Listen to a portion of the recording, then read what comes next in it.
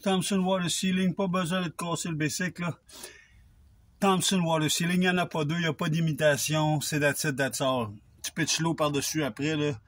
Je check mon, euh, mon histoire, mon TikTok, mes vidéos, là, c'est...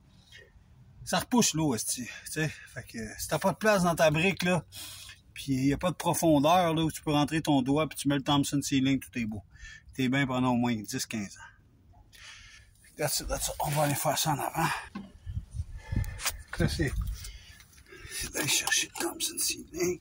Puis pas en mettre trop, là. On cherche pas à en mettre trop. Hein. Mais, d'aller l'imbiber. C'est pas comme un pinceau, là. Tu taponnes.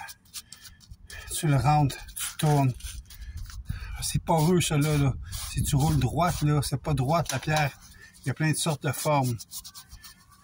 Fait que tu tournes. Tu tournes, tu gosses ça rentre au complet dedans.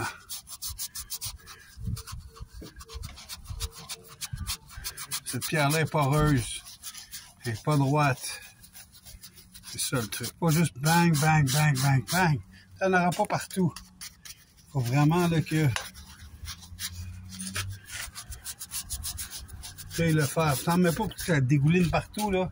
T'en mets assez pour le faire, mais tu peux voir tout de suite la différence. Ça, là, c'est en manque de mortier une pierre qui n'a pas été lavée depuis des années. Il manque du mortier à l'intérieur.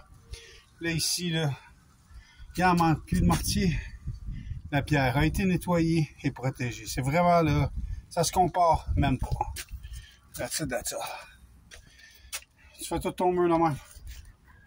C'est bon maintenant.